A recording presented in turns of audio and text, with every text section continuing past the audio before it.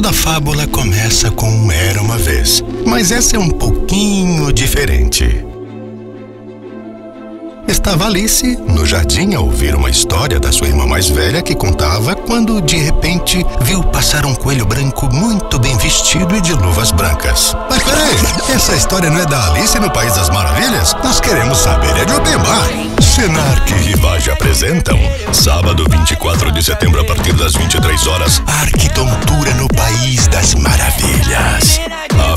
Open Bar de maior tradição da região retorna com tudo para mais uma grande edição.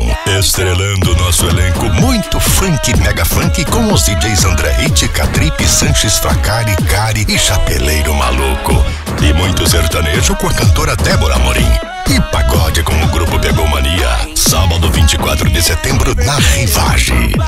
Arquitetura no País das Maravilhas. Realização Senac Grupo RVG.